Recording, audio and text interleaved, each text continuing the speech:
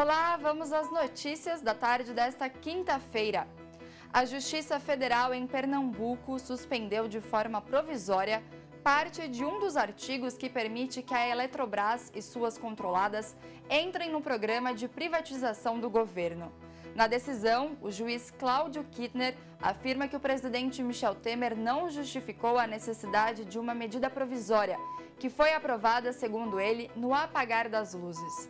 A ação julgada foi protocolada pelo deputado federal Danilo Cabral, do PSB de Pernambuco. O Ministério do Trabalho informou que o seguro-desemprego teve um reajuste de 2,07%. A partir de hoje, o valor da parcela máxima passa a ser de R$ 1.677, ou seja, são 34 reais a mais em relação ao valor antigo.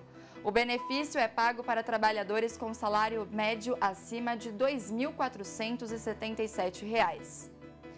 O brasileiro Jonathan Moisés Diniz, que ficou 11 dias preso na Venezuela, afirmou hoje que a ação foi planejada.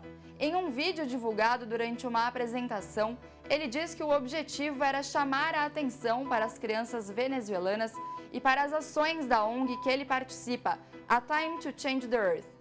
Diniz diz que incitou ser preso para que o caso repercutisse e, assim, as pessoas prestassem atenção no fato de que crianças estão passando fome no país.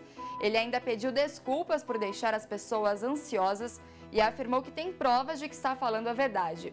Segundo o brasileiro, a ex-namorada sabia de todo o plano. Essas e outras notícias você encontra em veja.com.